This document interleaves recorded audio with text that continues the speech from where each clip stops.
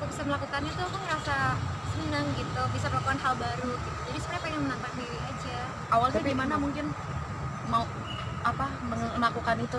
Awalnya uh ngerasa "Eh, ini sekali nggak bisa gitu. Kayak ya paling juga nanti eh, jadinya jadi yoga gitu. Tapi ternyata eh, awalnya eh, stretching stretching terus habis itu disuruh coba pertama katanya ini yang paling simple.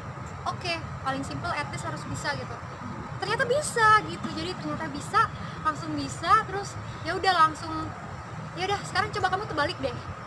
Balik gimana kak? Terbalik kayak gini nih gitu. Langsung dia terbalik gitu tiba-tiba. Terus nggak bisa kak kalau itu kayaknya. Terus kata dia enggak coba dulu coba dulu gitu. Terus diajarin step-stepnya gitu. Eh ternyata bisa.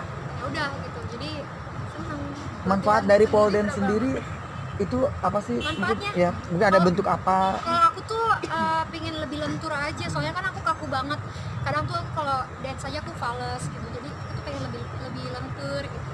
Latihannya berapa lama? Sampai itu bisa? kemarin baru latihan pertama pertama kali. Jadi itu pertama kali baru latihan terus langsung bisa. Terus ya udah jadinya mungkin nanti mau latihan lagi.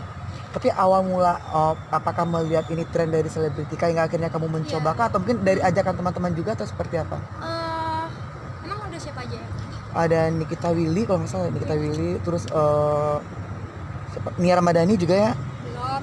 Ini aku udah belum sih? dia itu. Oh belum ya? Masih yang udah? Aja. Giselle. Sam. Giselle. Ada beberapa teman-teman selebriti sih. Oh.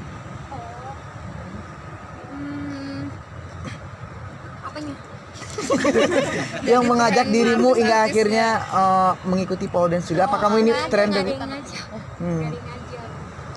Eh, apa kemauan sendiri tapi tapi semenjak semenjak kemarin coba tuh ternyata jadi banyak yang mau sih. Jadi ya mudah-mudahan daripada sendiri kan mendingan rame-rame gitu sama teman. Nia juga mau coba Hmm. terus kayak eh, teman-teman di Scout juga mau coba terus teman-teman yang lain juga mau coba. Jadi seneng gitu. Tapi ini emang rata-rata di rumah semua kah? Atau di tempat gym? Atau tempat olahraga tertentu sih gitu? Eh, di dia tempat pole dance ya karena kan Hmm. harus ada tiangnya gitu. Jadi di mana ada tiang lah. Malaran juga mungkin. Bisa tapi eh, gimana tanggapan ketika dirimu posting ke Instagram? Pro dan kontra dari netizen sendiri kebanyakan Seperti sih apa? positif terus kayak kayak ya banyak yang muji eh, kok langsung bisa terus kok eh, eh, body goals terus kayak eh, wah ini susah banget gitu.